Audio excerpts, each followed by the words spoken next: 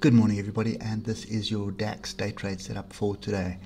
So we are still stuck between these two levels, uh, and that's uh, 13,325 and 12,951. And uh, if you look to the left, you can see this is a pretty big level that we're trying to break through. I still think we are going to break through it.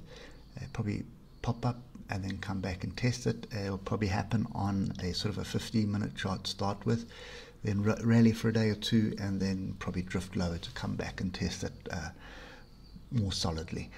But f- for me, I am still watching this with bated breath. We we have got a few breakouts, but I'm going to give you those on the hour. Uh, nothing really confirmed at the moment, uh, but you can see how we are drifting up higher from the moving average, and we've never really broken below the moving average.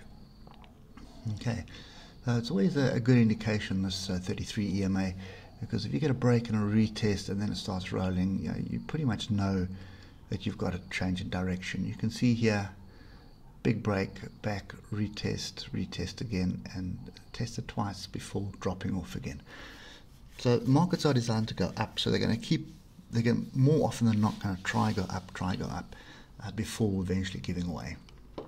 Okay, so that's exactly what's happened here. So they're trying, trying, trying, and it looks like they're succeeding. So if we just get down to the hour, that's the level we're looking at. I'm just going to make this a, a pretty noisy chart for a second.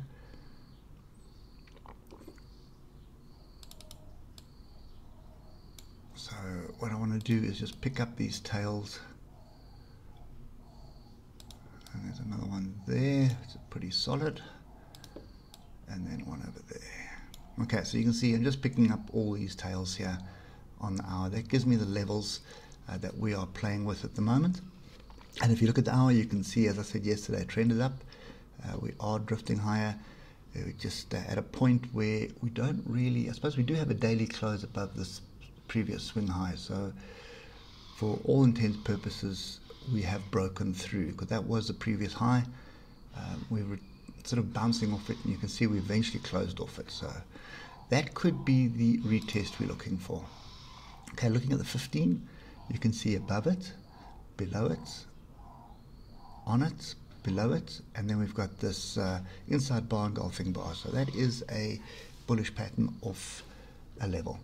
So for me, I am watching this today very closely. This level here is what I'm watching, uh, 13317 or 13300 because we have got a close above it and with a daily close above 13300 the next logical step is 13400 Okay, so well, obviously 13350, then 13400.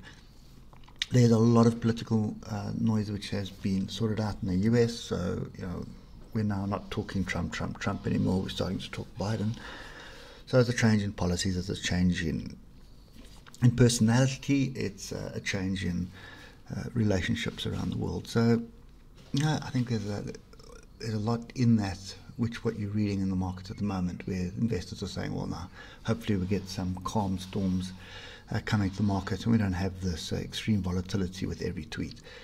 So that being said, I'm not in on this yet. I think the S&P is offering some good opportunities, and we'll look at Wall Street now but uh, this does look like we are going to start forming an opportunity.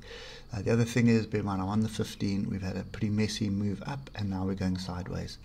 So the next logical step is a break, retest, and then a move equal to the previous move, which um, conservative because of the structure here. I'm going to take it from there.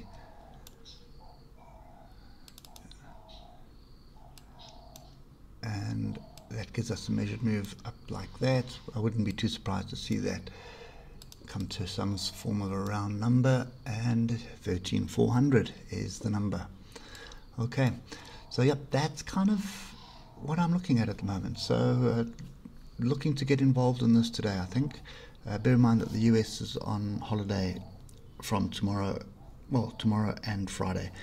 So um, I'm fairly bullish on this at the moment. We've got a daily, we've got a, a daily close, although it's not really a um, earth-shattering close, but we do have a, a, daily close above the previous high. Uh, we'll wait and see what transpires, but I have a feeling uh, we just need to watch this closely and hop in on this on the retest here. Okay. Anyway, that's it for me today. Um, hope that helps, and that should give you a 100 point trade for probably 20 point, 30 point risk. Uh, hope, hope it helps, and we'll catch up with you later. Cheers for now.